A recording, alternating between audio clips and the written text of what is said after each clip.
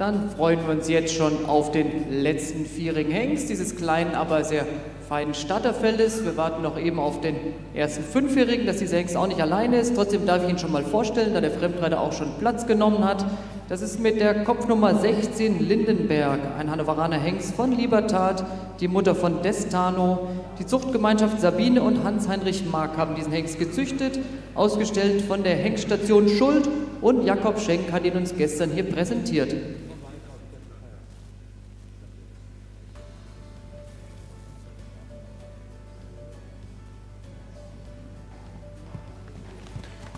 So, meine Damen und Herren, wir haben jetzt unseren Fremdreiter Pico Hannover hier auf der Katalog Nummer 16, dem Hengst Lindenberg.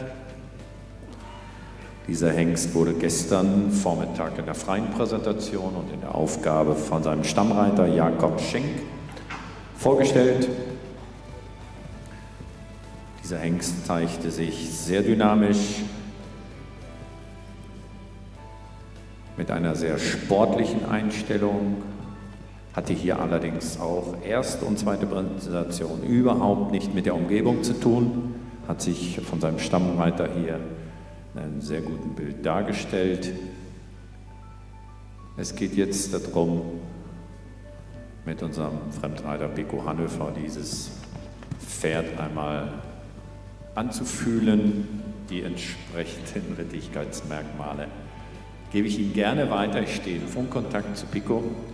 Erste Kommentierung jetzt gerade von Pico war, der will aber.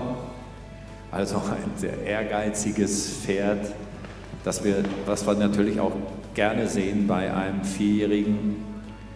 Sie müssen sich reiten lassen, aber eine gewisse Grundsensibilität für die weitere Ausbildung ist einfach auch wichtig. Die Einstellung, wie geht das Pferd mit seinem eigenen Körper um? So, die Biomechanik des Pferdes ist bei jedem Pferd etwas anderes, ein Bewegungsbild daraus ergibt sich oft eben entsprechend auch die Rittigkeitsmerkmale. Jawohl, Hengst jetzt auch, ist bereit, sich in die Hand des Reiters zu dehnen.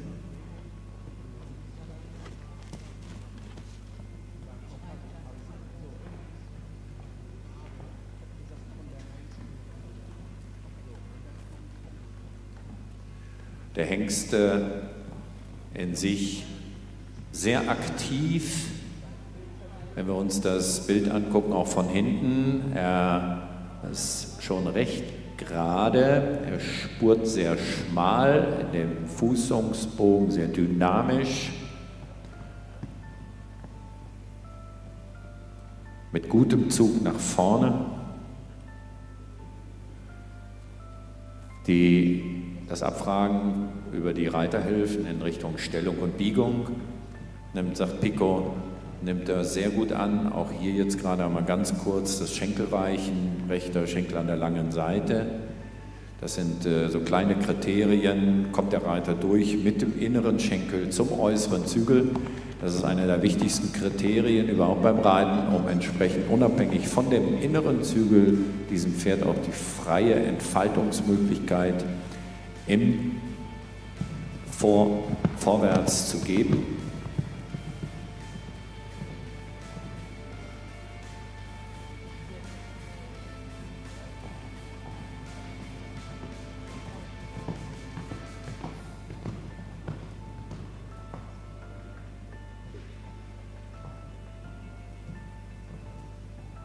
Ja, hier im Galopp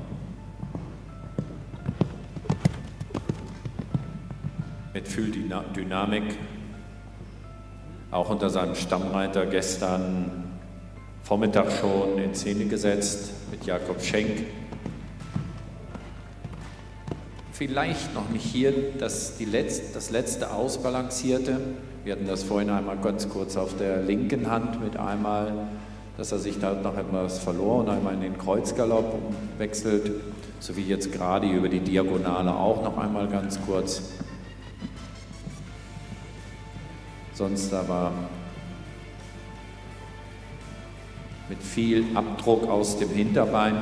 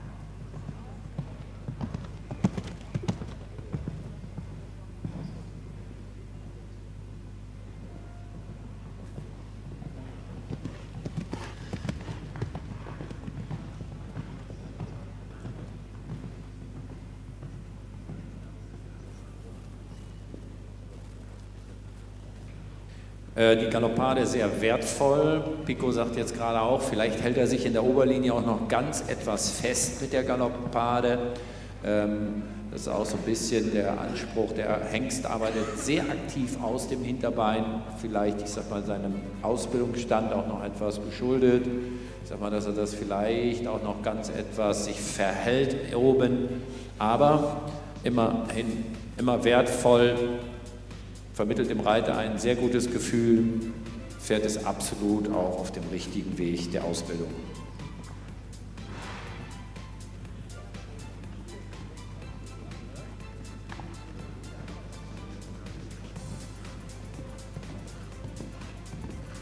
Na, dieser Hengst ausgestattet mit, einem, mit sehr viel Esprit und Go. Das ist äh,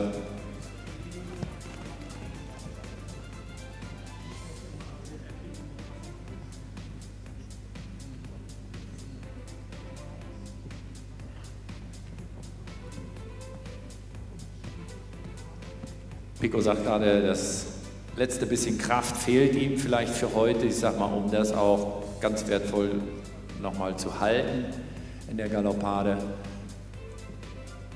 Aber das äh, ist absolut auf dem richtigen Weg und äh, freuen uns, so viel Qualität hier zeigen zu können.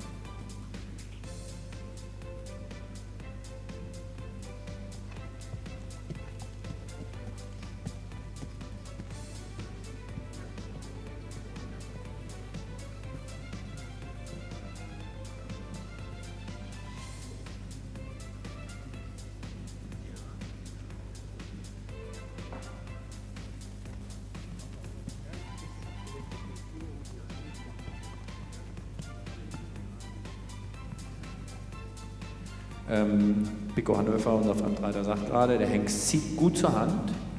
Ich sag mal, das war gestern so in der zweiten Präsentation nicht ganz in der Aufgabe mehr so. Ich sag mal, jetzt hier heute auch wieder besser.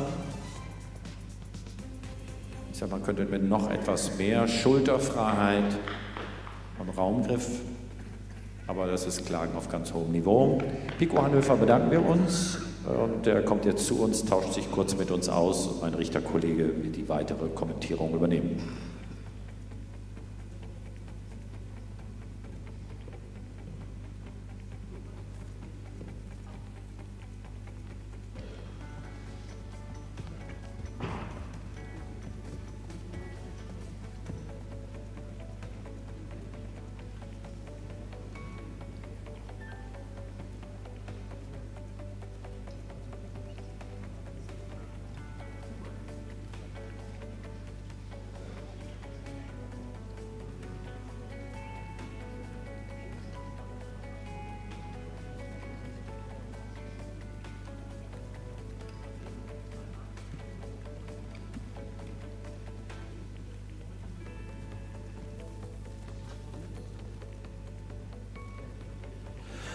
Ja, da kann man sich doch ein bisschen begeistern an den schönen Hengsten hier. Die Trabarbeit, der arbeitet quasi wie ein, die Musiker sagen, wie ein Metronom in einem wahnsinnigen guten Rhythmus, in einem Gleichmaß, in der sportlichen Art, an der langen Seite wie in den Wendungen, an der kurzen Seite immer das Hinterbein aktiv. Ich kann hier noch ganz viele Worte dessen benennen, warum der Trab so bedeutend ist. Schmalspurend, lebendig, elastisch, idealer Fußungsfloren, leise und fließend und auch trotzdem verschleißarm, da der Hengst nämlich alle Gelenke öffnet, locker ist, leicht ist. Wertnote für den Trab, kurz gesagt 10,0. Der Galopp, auch mit ganz viel Impuls, der Hengst hat ja ein wahnsinniges, lebhaftes Potenzial, sportlich nach vorne zu wollen und sich dann immer schön aus diesem aktiven, arbeitenden Hinterbein in die Hand reinzuformen, aus Resultat davon die schöne Anlehnung. Der Galopp manchmal in der Phase könnte einen Tick noch mehr abwarten, Sprung für Sprung fertig galoppieren, aber trotzdem auf einem ganz hohen Niveau die Galoppnote 8,8. Der Schritt, kurz gesprochen, taktsicher, und gut 8,0. Für die Rittigkeit der Hengst hier überzeugend, gemäß der Ausbildungsskala in guter Losgelassenheit, der die Reiterhilfen akzeptiert, annimmt, die halben Paraden schon schön aufs Hinterbein zurück. Der Hengst lässt sich immer wieder schön einfangen von hinten nach vorne im Hinterbein in die Hand. Wertnote 9,2. Und natürlich, wenn wir den Text lesen, Gesamteindruck Veranlagung als Dressurpferd kann keiner ihm dies absprechen und bei weiterer körperlicher Entwicklung noch viel Potenzial. Wertnote 9,5, gewichtete Endnote 9,07. Vielen Dank.